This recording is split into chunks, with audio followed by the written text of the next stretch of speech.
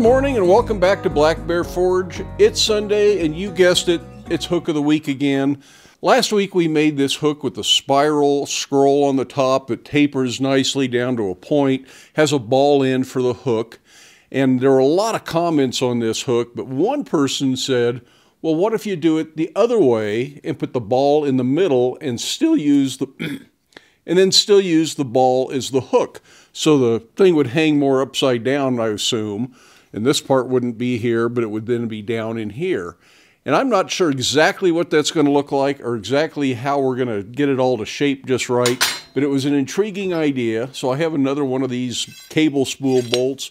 This one's got the washer. We'll save that for another project sometime and just do exactly what we did the last time, only sort of inverted or backwards or however you want to look at it. We'll make the ball, we'll leave enough of this out of the scroll to make the hook, and then we'll taper this end a little bit and put a little bit of a scroll on this end just to make it look finished and do the same two dimples for screw holes up here and just see what we end up with. It's an intriguing idea, so thanks for the suggestion. I can't remember who said that.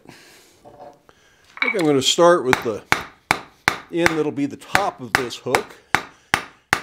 And this still has some threads, so these may show a little bit in the finished project here. But they may forge down well enough you don't see them. If this was something structural up here, I would cut all that off because those threads could create weak points.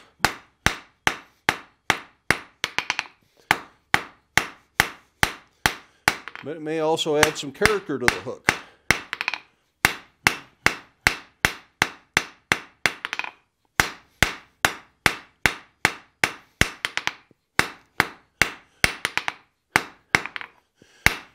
Again, we forge our taper as a square to start with.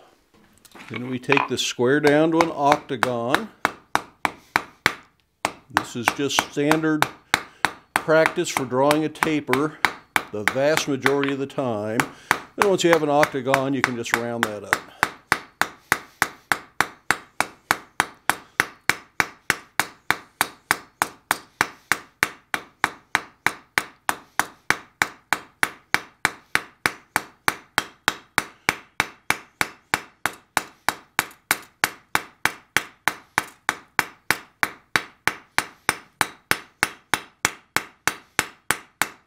So now we have a nice smooth round taper. Let's go ahead and put the little scroll on the end of that. I'll probably scroll all the way up into the where it transitions from tapered to parallel. I think I'll go to a little lighter hammer for this just to make life easier.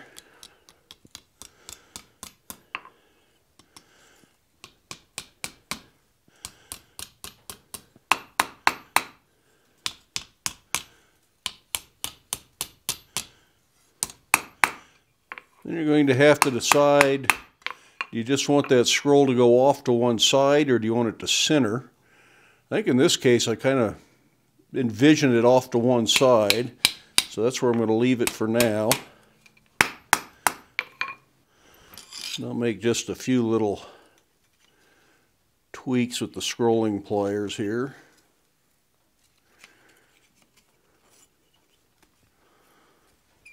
Like I may need a smaller pair.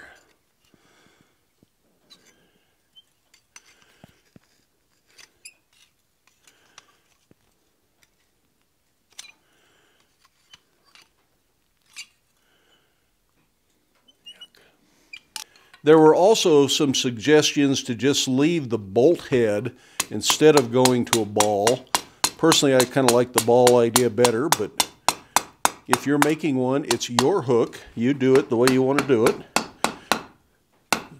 And if you leave more of the thread showing on the other end, leaving the bolt head might be an interesting thing so people can tell it was a bolt. Of course, you can make the same hook without starting with a bolt. You can do it out of round rod and upset the end or lots of other ways you can get similar hooks without having to have the bolt. And I'm just going to do this one entirely at the anvil just to show that you don't have to have a swedge block to make a reasonably spherical ball.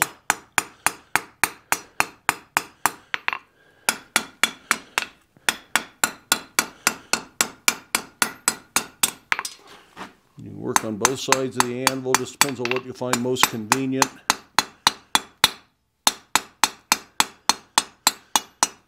Keep it moving as you round it up so you don't end up squishing it into an egg shape.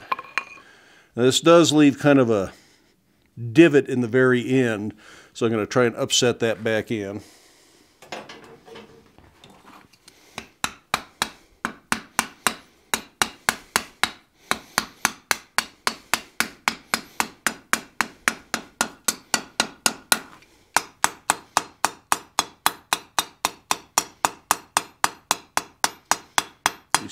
Surface on your anvil would be nice. This one's kind of chopped up and needs to be reground. We'll take a look at that in an upcoming video, hopefully this summer.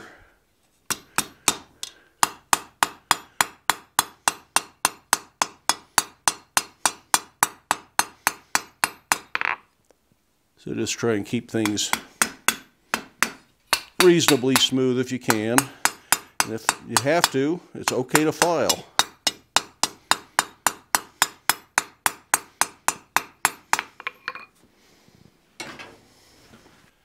I think I'm going to taper this lightly just to make the ball a little bit more dramatic and make the bar leading up to it just a hair smaller. I think that will really enhance the look of the ball there.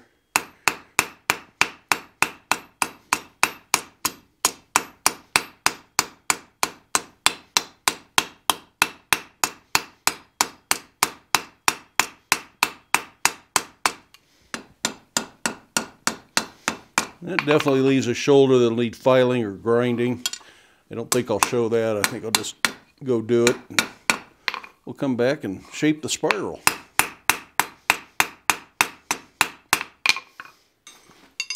I want to leave enough to make the hook out of, and I'm not sure exactly what I want that to look like yet, so I'm hoping it kind of speaks to me as we get close. I'm just going to bend that over at about a 90 degree angle just to get it out of my way so we can scroll it this way and leave that sticking out. I'm not going to worry about the relationship between this and this scroll. Round bar you can twist to line up and it doesn't show like it would in square bar, so that gives us some freedom to figure all that out when we get there. It is going to make this a little bit harder to scroll up cleanly because it's kind of in the way, but I think we can get a good idea of what we're looking for here. And again, we may need to go to a scroll wrench or pair of pliers to kind of work on this.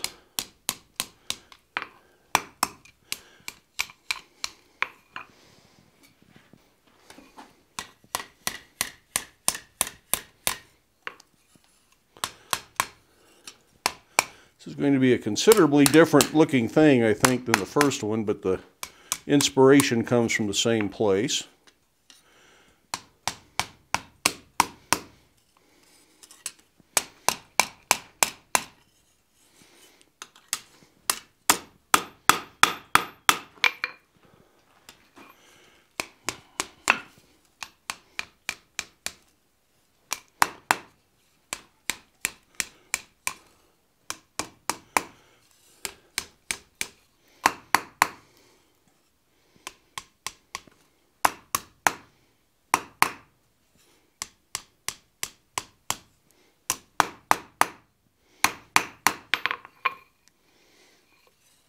Just a lot of a lot of fiddling. Having this sticking out like that really makes it harder to both see what you're doing and to get in there and make the adjustments.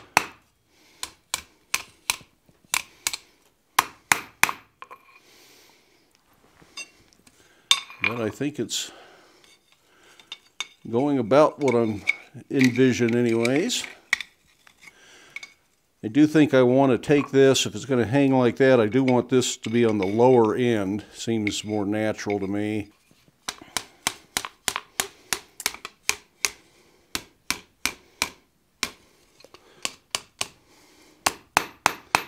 Let's see if I can get that to wrap up that well.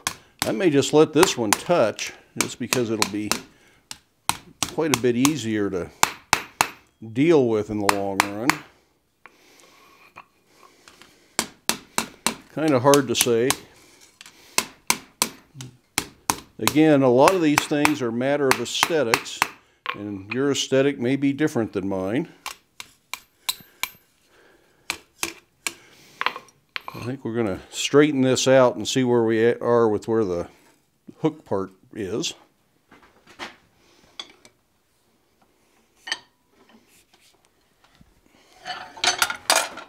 I'm going to use this pair of knee tongs that I think will get in there nice and close as my bending fork.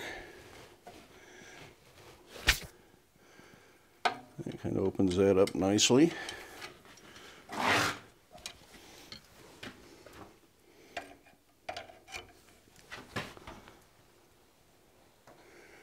And rotate that down to where I think it ought to be.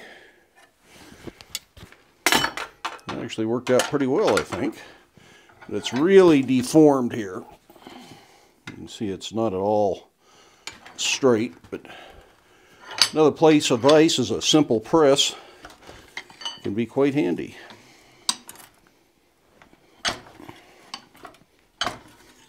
That really helps line things back up. I'm going to go ahead and take this opportunity to line that end up. I think I want it to be a kind of an S spiral. So I'm going to make it go the opposite direction of the first one. And looking at that, I think it does need to stand straight up now. I didn't think so to start with, but now I do.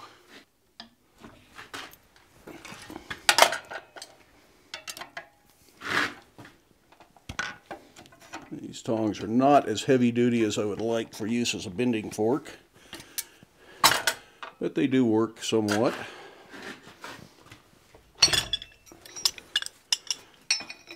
Need to make more bending forks apparently.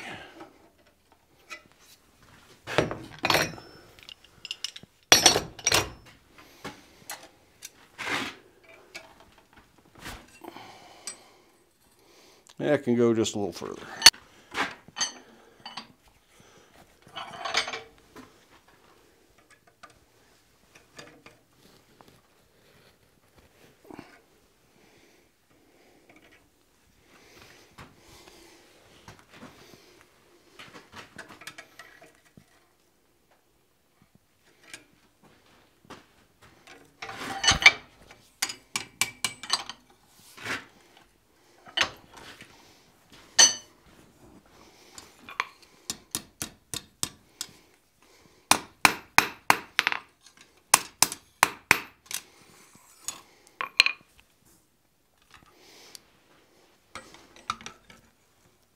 I can just put that in the vise where it holds the scroll nicely.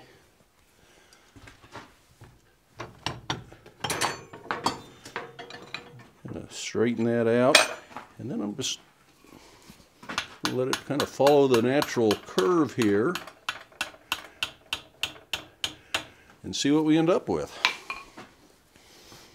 I think there's still some tweaking to do but it is definitely a hook. I went ahead and quenched this, and even though this material does harden a little bit, it's going to make this a little bit easier to work with. And I like that shape of the hook a lot better. But then I'll bring it back up to heat to normalize the part I quenched, just in case it did get hard. Don't do any forging of the part you quenched if you're worried about your material hardening.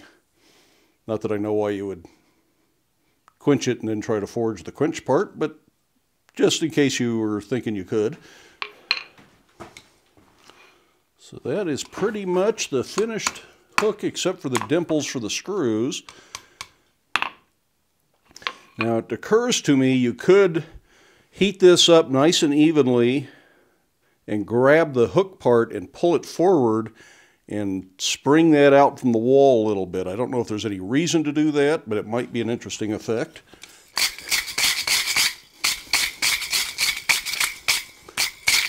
Just play with these things and try a lot of different approaches if you're just trying to figure out what you like the best. It's really easy to just mess around. But let's go ahead and put those dimples in.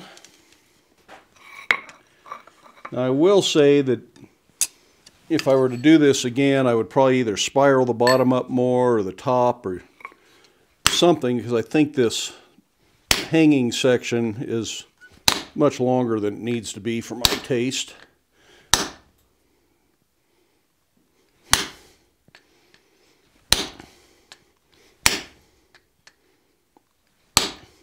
to push that back over. It's a little off center.